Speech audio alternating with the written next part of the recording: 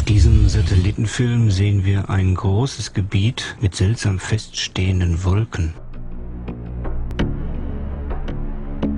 So kann man unter anderem hier und hier Wellen und Rippen erkennen, die fest an ihrem Platz bleiben, ganz wie festgehalten. Oder gerade hier produziert. Von unten betrachtet sieht das Ganze dann so aus.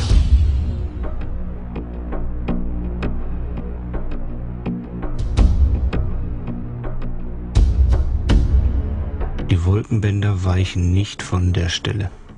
Mehr noch, man kann die Welle förmlich sehen, die in dieses Bild passen würde.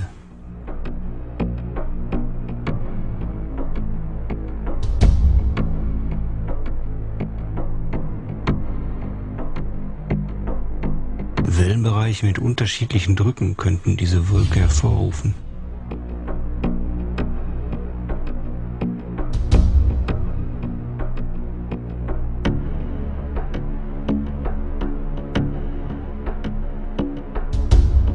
Struktur bleibt über viele Stunden so stabil, dass wir unsere Welle unverändert einfügen können.